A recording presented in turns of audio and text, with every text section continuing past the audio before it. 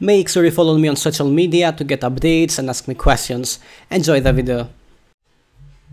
At this point, we have a working form to register users. However, we need to make sure that the users can log into the system. So let's create the form for login. First, let's create a route to display the form. So I will open my web.php file. I will delete the comments because we do not need them. And I will go down here. Route, get, login. Of course, we need a controller. However, it doesn't make any sense to use the registration controller for login. So what about creating a new controller? Let's do that. PHP artisan, make controller, login controller. Okay, so now that we have the controller, let's use this login controller at login. So login is the function, of course. Let's create it, login controller, public function login. This will return a view, authentication.login. Let's create the view, resources, views, authentication. I'll create a new file, login.blade.php. So what I will do is to copy all the content from the register file and I will paste them inside login.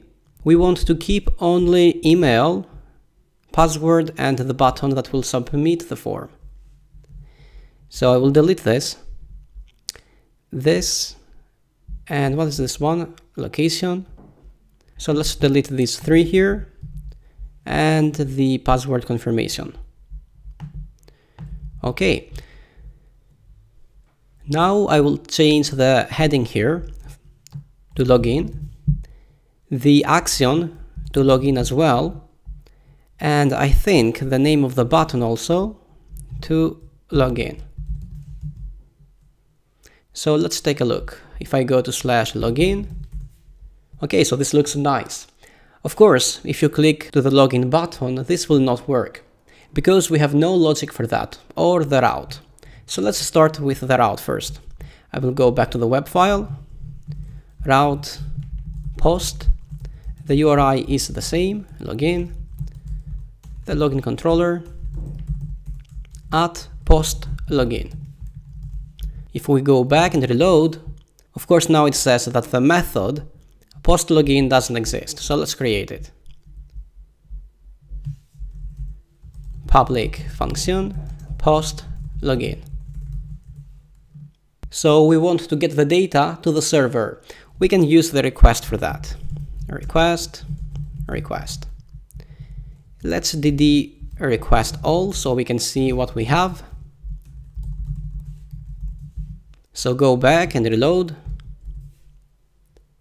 And of course the email and the password are empty. So what I will do is to go back to this and I will go to the login blade file and what I will do is to go here and say required and I will do the same for the password. So we have some client-side validation here to make sure that the user cannot submit the form without filling the email and the password. So let's try this. So if I press login, you get this notification here. Okay, so let's try this. Example at example.com and the password for me is secret. Now we have a value for the email and for the password.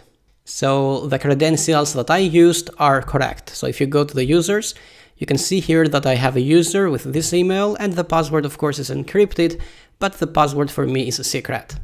Anyway, let's go back.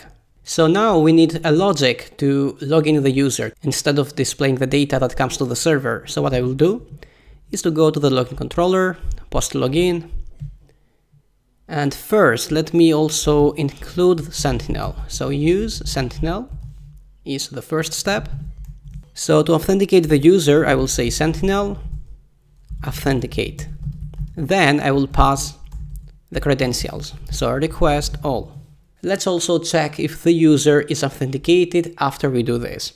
So return Sentinel check. this line here, sentinel check, will return the authenticated user if the user is authenticated, or it will return false if the user is not authenticated. Okay, so before I run this though, let me show you the persistences table. So we have this table here, and look what will happen once we log in. So if I go back, reload, continue, and now this will return the authenticated user because this is what this sentinel check will do. And also take a look at the persistences table. It added a new row here. This row corresponds to the authenticated user. So as you can see, user with ID 1 is now authenticated to the system. So you can see here that the email that we used corresponds to user with ID 1, and this is what we get here. User ID 1. So, with this table, you can find out all the authenticated users in your system. Anyway, let's go back. So the authentication was successful and in the next video we will see how we can log out the authenticated user.